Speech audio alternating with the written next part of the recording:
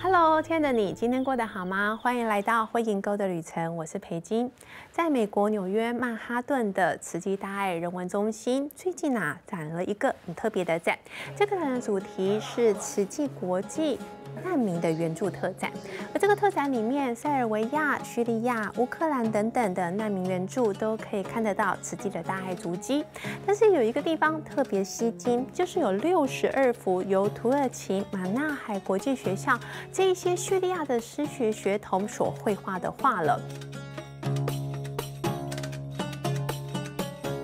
而这六十二幅画里面，远远的看的时候，你看到第一层是黑黑雾雾的，因为画的都是战争、飞机、炮弹。但是随着他们走进了学校，得到了教育，看见了希望，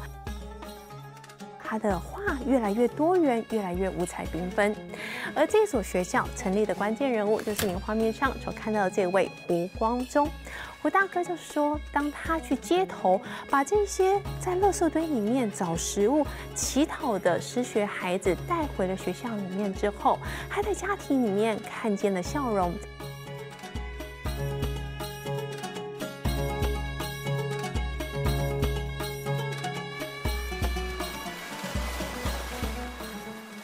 土耳其当地大学生的录取率大概是五成，但是呢，马纳海国际学校就超过九成的孩子都上了大学，可以感觉到他们的努力跟他们珍惜这份可以学习的得之不易，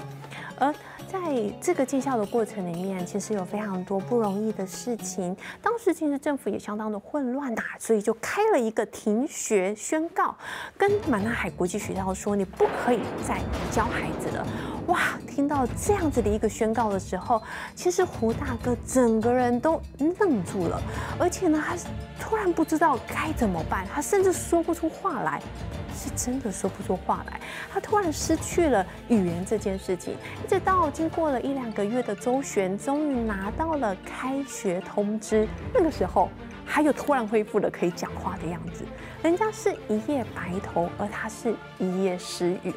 但也所幸，因为有大家的共同合作，终于马纳海国际学校呢，这些孩子们可以重新再打开课本，开始他们的学习。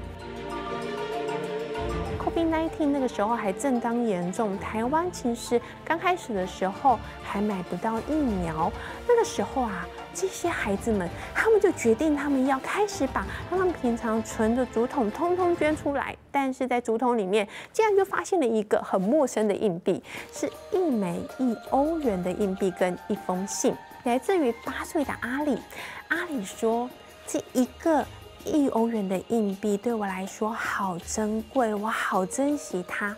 但是我知道，这枚硬币再怎么珍贵，都不会有比需要的人更珍贵。叙利亚爱台湾，所以他写下了这封信，投下了他珍贵的一欧元。当付出的爱有多宽，得到的爱就有多广。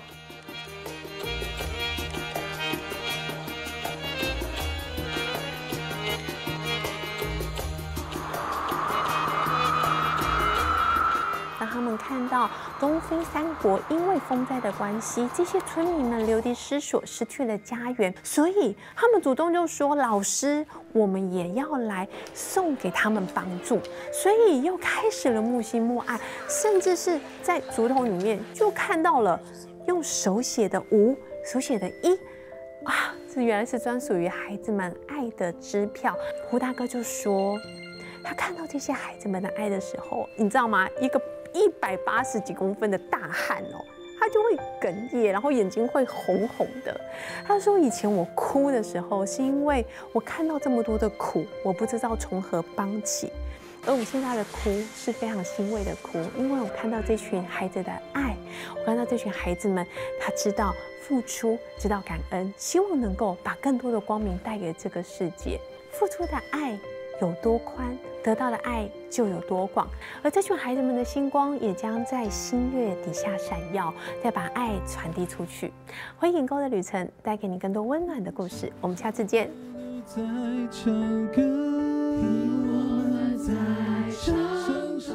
我一直勾勒一个画面，这个画面就是二十年后这些孩子他会长大，他会回想二十年前或三十年前，有一群人，这群人我不记得他叫什么名字，不过这群人到这个地方来帮助我读书，也许那个孩子到那个时候，他就是可以帮助别人的人。那个种在他脑子里面的种子，那一天就会发芽，会长大，会变成一棵爱的树，可以给更多爱给别人。